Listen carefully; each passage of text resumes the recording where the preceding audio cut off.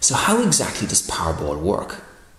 Well, we've already seen that it's a hard plastic shell, or in this case, a metal shell, with a free spinning wheel inside. We call it the rotor. If you actually examine that rotor a little bit more closely, you'll see that's exactly what it is. It freely rotates around its axis in two directions. And this is made of metal. You put an actual metal body into motion, it'll generate a force, it'll fight against you. In this case, if I wind up this Powerball, it's one of our automatic starting Powerballs. If I wind it up and release it, you can see that the rotor jumps into motion, jumps into life, starts spinning in two directions. Now, there's no battery, there's no motor inside, it's all done by your hand and your wrist.